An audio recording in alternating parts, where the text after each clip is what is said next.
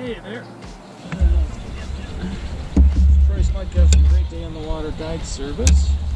And I'm here with uh, doing an equipment review.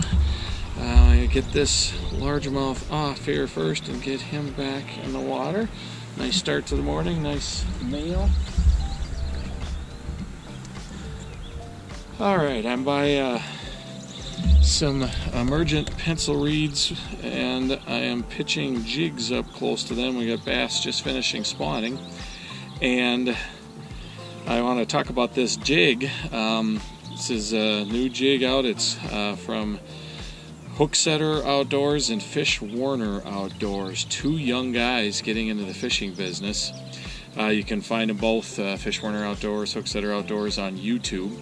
Um, but they make uh, custom bass jigs, custom ice rods, custom open water rods. Um, just uh, ardent fishermen, so they know uh, what works and what doesn't and what to make. Uh, this one's the cl uh, classic bass color uh, blue and black, but they make all kinds of colors, classic ones like this and green pumpkin, but they make some custom colors too, ones you don't see much of with purple in them and pink in them. So um, if you're interested in some really new, they these fish really nice. They they uh, got a good strong hook on them. Uh, you can tip them. Um, I'm just fishing the jig plain right now to kind of get through the weeds, but you can tip them with any kind of trailer, um, and they catch bass like crazy.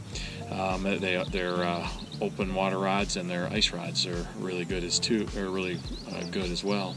So try uh, check them out on YouTube, uh, Fish Werner Outdoors, Hooksetter Outdoors, and try some of this. Uh, and if you get in contact with them, uh, let them know Troy Smutka from Great Day on the Water Guide Service sent you.